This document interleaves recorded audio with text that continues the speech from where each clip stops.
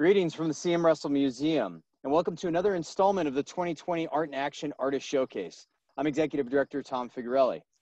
Given the impacts of the coronavirus and our need to postpone our annual Russell exhibition and sale, as well as a major component of it, Art in Action, we've had to take a different uh, approach to allow you to engage with artists and connect with uh, Western art, with our institution, and just feel like you're part of a, a bigger community. Um, art in action, which many of you know, is an exciting variation of a traditional quick draw, where nationally known artists have several hours to finish a piece of art while they interact with guests. Now, it's really difficult for us to recreate the opportunity for uh, seeing an artist work uh, on their piece live, obviously. But what we're trying to recreate here is that conversation, the dialogue, the interaction that otherwise you'd miss out on, and which many patrons say is the highlight for them of Art Week in Great Falls.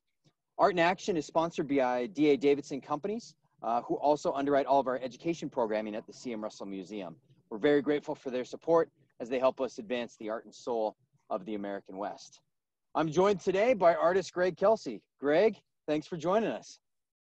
Good morning. How are you doing? Uh, doing tremendous, doing tremendous. Uh, looks like you're hard at work there. Working on an elk. That's fantastic. Well, Greg, if people are wondering, you know, if everything going on in this world, how, how are you doing? How are you faring? Faring well, doing good. Um, staying busy with uh, in the cool parts of the day. We go outside and work and irrigate, work cows and horses, and in the hot part of the day, shade up and and try to get after some sculpting or some painting and hanging out with the family, keeping it like a regular day. Good for you. Routine is is key, right? It's key. This uh, we have a, a little boy, Wilder is his name, and and he's uh he's going to figure out a little. We're not going to do total homeschool with him, but we're going to do a hybrid system with him with a little private school that we're going to try out this year, and it's three days a week, and um, the rest of it will be up to us, and he'll be our second child to to do a homeschool with. So we've done that before too, and um, kind of fits our it fits our program pretty well and how we live. Well, good for you. I mean, no doubt your kids can be out and about and, and see livestock and wildlife and see you work, and there's a lot of education in that. Yeah, and there's a lot of get together stuff we still do with other, you know, uh, cow and horse people around and um, working each other's pastures and helping each other out and doing the neighborly trade deal well, good for you guys. Good for you. I'm glad you you're you're enduring these times. Now, Greg, you know art and action, and you're no stranger to it. You're no stranger to quick finishes, um, and and that type of event where you're trying to work on a piece, you're trying to have conversation, uh, you're reconnecting with old friends, building some new relationships. Uh, tell us, Greg, why that kind of format fits for you you know, I didn't really ever know any different than than that format. The Russell, when I started it almost 20 years ago, that was the first quick draw I'd ever done, and um, I'd never even been around. I wasn't around a lot of that. I'd been in a gallery atmosphere, and in college, I mean, it's pretty brutal to be sculpting in front of your other classmates or doing right. We we would do peer critiques all the time, you know. So um, I was excited for it to see what it was like in that level with the with a buying crowd watching, you know, with a very interested crowd that's not it's not so academic. It's um there's a lot of real uh just they're there for the straight uh, collecting version of of you know appreciation of the art, not the you know not another artist's view of it. So that was something that took me by surprise how much more I would like that atmosphere. I still crave artists to critique my work. That's something that that I've always liked and and and wanted to have happen. And I did a lot of that in the early beginnings with with great artists like T.D. Kelsey. You know, I'd I'd run up and grab those guys by the shoulder and hey man, come over here and beat me up on my piece, and and then to see in it and to see their their feedback to you also while you're producing and creating in front of them is uh it's a it's it's a greater high than the than the feeling of the performance art part you know like you're starting to have to turn this into a performance now. Um, that takes a total backseat feeling to to don't even worry about that you know and that's what a lot of people pressure up over is that they have to do that in front of people.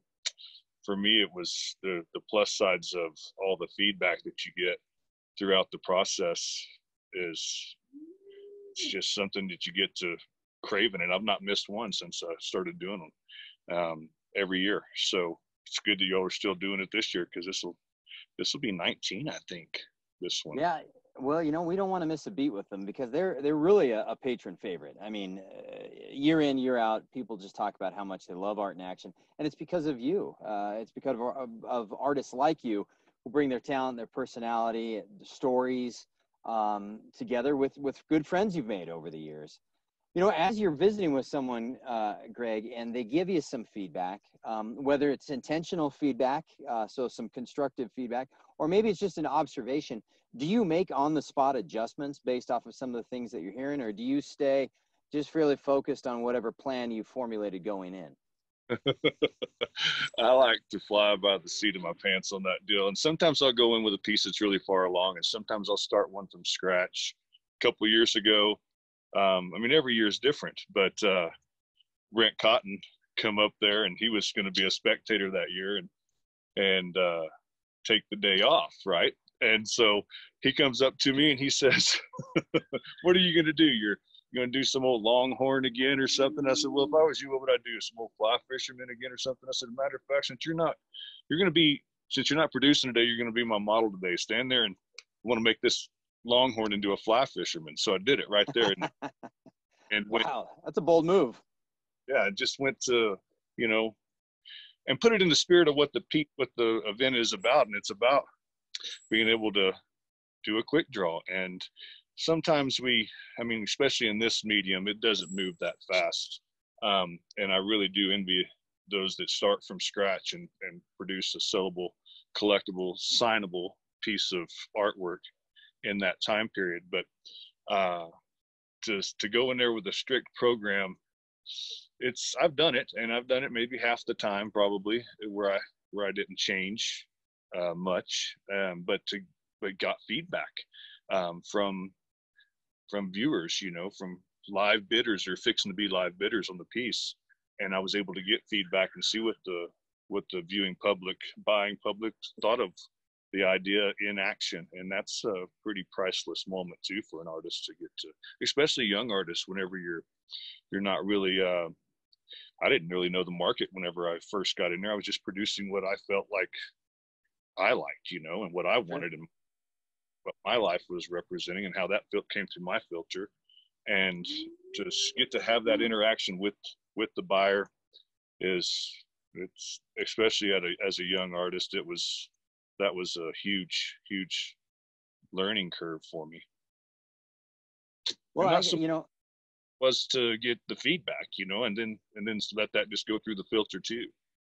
Yeah, no, no doubt, and that feedback's got to be priceless. I mean, because uh, in, in what other avenue or venue do you get that immediate reaction? Um, and and then you know you can um, take it in and do with it what you want. Um, you know, speaking of do with them what you want, what what are you working on here? I certainly see a bull elk, but can you tell us about this guy? Yeah, this is uh, uh, I've yet to really put a title on him yet, but like in the quick draw, sometimes my my you know guys that are coming up there and talking to me and ladies and gentlemen be sitting there asking me questions and then before you know the next question is what's it going to be titled and and then we come up with one together or I start making a list of everybody that comes by and seeing what they are, and we come up with one. Sometimes popularity wins out. Sometimes my my choice. Your call. Yeah. But uh, we have a lot of fun with it. And this one needs to have a title too. But this is an elk ascending down. I'm thinking of calling it uh, Love and War, and uh, he's coming down with. Uh, it's all about their approach and their attitude and what you want to convey in the piece, you know, and his body and gesture is going to say that. What it's doing is what he is doing is bugling down here, talking to somebody on his way down to the to the park at the bottom, and uh, it's a similar approach to love and war for him, you know, on his descent down off the mountain there. And that's the what I was wanting to convey on this guy is how he uh what's he going to be doing with his with his next few minutes you know right no that's appropriate title because he has very two two vastly different uh, ends of the spectrum that he could select there Uh, right. No, I think that's very apropos, and it's a good size uh, piece. Obviously, I mean, we get a sense of the the uh, the scope of it as you stand next to it. Yeah, it's a half life size. Um, if you were to go off of scale, it's uh, so that's a you know an eight inch head there, and a bull elk's head's about 16 inches on his skull. So that's how I figure out the scale of go off the bones, the bone structure of one, and half that down, and that's my scale. So as you you approach some of your work, Greg, and you're you know selecting you know obviously the subject, the scale, the position. Uh, you know, walk us through, if you will, that process. How do you make some of those decisions? How do you move from an idea um, to a final product? Well, some ideas they don't deserve a big, big take over a room, you know, but they might do what they need to do in a small cubby space or or a small edge of a desk or something. But when you're thinking about wanting to control the side of a mantle off of a chimney or a big a big area that's that's usually going to have a big wall with it too or a big room then that's where I start thinking about the scale of what I want to do. And and if I like this, I was doing, I was going to have an elk, and I wanted to have him. I wanted to have him in that position where he could be descending, and you could put him up high, and he would still be interacting with the room, you know. And so, um, and when I mean high, I mean up above waist high. If you wanted to, you could put him up there, and he would still be interactive with you, and not be uh, off on his own deal, you know, and not be a mm-hmm. part I want him to feel balanced in the room to where they they're not going to be not seen or or felt or understood for what they're supposed to be. Some bucking horse pieces don't have to be any bigger than that, and they're going to come across as as some ownership of their space. This guy needed to be this size to be where I think that he should be placed and do what he's supposed to do. Um, I wanted him to have this at least a half life presence. I'd like to take him life size or bigger. And um, some pieces just want to be big. And when you, and, it, and a lot of it has to do with the composition. Um, some big objects are, to me, it's not who and what this piece is, it's the shapes that are there and the shapes that aren't there. This, this is negative space. Those shapes mean a lot and how big they are and if they should happen and if you wanted to clog them up to make them not happen how i mean how much mass is that going to change the piece there's a lot to think about in a sculpture that'll make your mind melt down until you just jump in and bail in on it and you think that i should have this piece i need a piece this size you know to cover up this much space and that's way it's way easier to keep it basic because once you start getting into the rest of it this conversation can go on for days right on well, you know, all this because there's so much of these extra spaces here that that change when you make them only this big. You know, that's that's really not a problem when it's that big. You know, but when you get them back up to half life or life size, you just expounded a problem that's going to be, you know, exponential compared to what it was when it was little. Well, and I think what you're bringing up for me is a, a, certain problem of physics, right? I mean, when you're sculpting, you have to be conscious about balance, right? I can only imagine that you have to have a sense of kind of structural engineering to it. And especially as you're noting with a bigger piece where you have maybe more open space, how do you ensure that, um, you know, it, it maintains a, a certain, you know, physical balance, but then also, you know, as the eye catches it, I can imagine you want to be able to tell a story too and take the visitor to a certain part of the sculpture. Is that is that relevant for what you work on? Yes, and I mean the geometric shapes of what is not there are as powerful as this outside physical form line. Okay. Mm, interesting. Right here, that is that that messes up a lot of makes a lot of bad sculpture or good sculpture is what is not there. And how you deal with those those open windows is what those are called. And and are they helping or hurting your piece um, and from what angle? You walk around this piece and it's a different piece.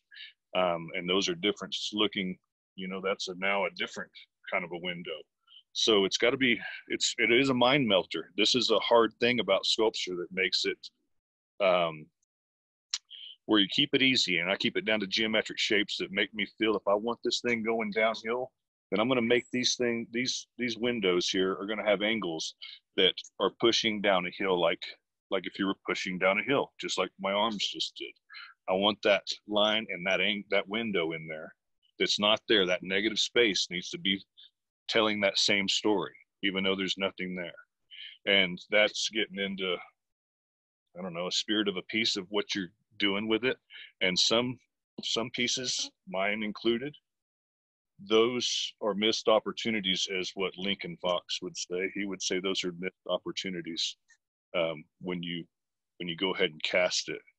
Um, you know, Ed Fraughton, another hero sculptor of mine, that would really get in your head about that stuff would would tell you, you know, that once it's in bronze, it's never it's never not a part of history again. You know, those things last forever. And you, yeah, that's right. That's right. You just messed up forever. And that that could hold a lot of people back too, but I don't know. Messing up well, can be a bad habit, I guess. And certainly, uh, you know, if you're if you're uh, interacting with someone, a buyer or a collector, uh, someone who's just appreciating your art, and they're intimately familiar with how an elk moves down a hill. They know how livestock cross over rocks. They're going to understand some of the nuances. And uh, so to be able to take that and relate that into a bronze in a way that will fit a natural uh, movement, but to do that in a way that makes sense for the shape and complexity of what you're working on, it feels like that's got to be a, a challenge, but a balance that you're probably always trying to maintain. Yeah, it's it's like I said, it's you can overthink it, and and you and there is so much to think about. The best thing to do is start letting letting the work go, accomplish what you want. If you want to feel like it's falling down, then sculpt it falling down. Um, it's uh, it's necessary to run a pole up everything that you sculpt. It's your job as an artist to make it look like it doesn't have a pole run up it. And there's um, that won't be there in the in the bronze, of course, but you have to have that there because this stuff can't structurally hold itself together. You know. Sure, sure. But in the metal it will, but in the clay it doesn't. So don't be so willing to conform, and don't let that what you're supposed to do hold you back from getting started your eye will figure it out because can't you can tell a lot of stories and and you don't have to tell the whole story and your eye will figure it out. Um, you don't have to continue the line before your eye figures out that that line keeps going you know? So there's a lot that'll happen and in your learning curve and what you could overthink once you get it into the physical form just you'll start seeing it.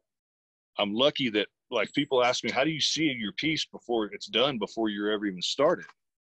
Usually is done before I ever started, and it goes around in my brain the way I don't know, like a like you would see on a computer screen of a 3D version of what a skull looks like. You know, it's that's what it looks like in my brain moving around in there. Is like I can see all the way around the skull. I just don't see the eye sockets and the nose and the mouth. I don't. I see all the way around it, and a lot of that is from really studying your subject matter and getting to know it in a way that it's not so easy to lie to yourself either you know and here you are trying to figure out and and get people to believe your story in physical form your artwork but you don't really understand your subject matter well enough to be able to do it without so much extra reference which now has killed a lot of what the spirit and creativity would be in your piece.